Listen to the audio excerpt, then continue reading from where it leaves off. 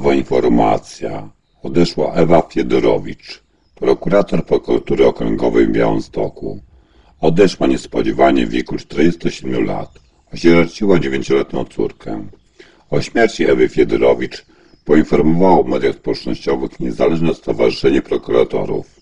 Organizacja opublikowała na portalu X wpis prokurator Elżbiety Pieniążek, przyjaciółki prokurator Fiedorowicz.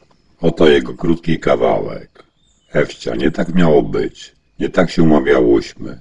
Miałaś odpocząć, nabrać sił, zadbać o siebie i wrócić.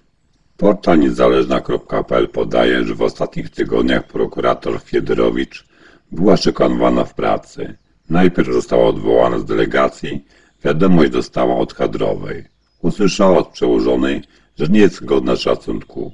Później została obarczona wieloma śledztwami VAT-owskimi. Choć specjalizowała się w sprawach błędów medycznych, czytamy. Według portalu to spowodowało, że stan zdrowia prokurator Fiedorowicz znacznie się pogorszył. Chciała odpocząć i pojechała dziewięcioletnią córkę nad morze. Odeszła niespodziewanie w czwartek 20 lipca w wieku 47 lat. To na razie wszystko. Pozdrawiam, Shot Joker.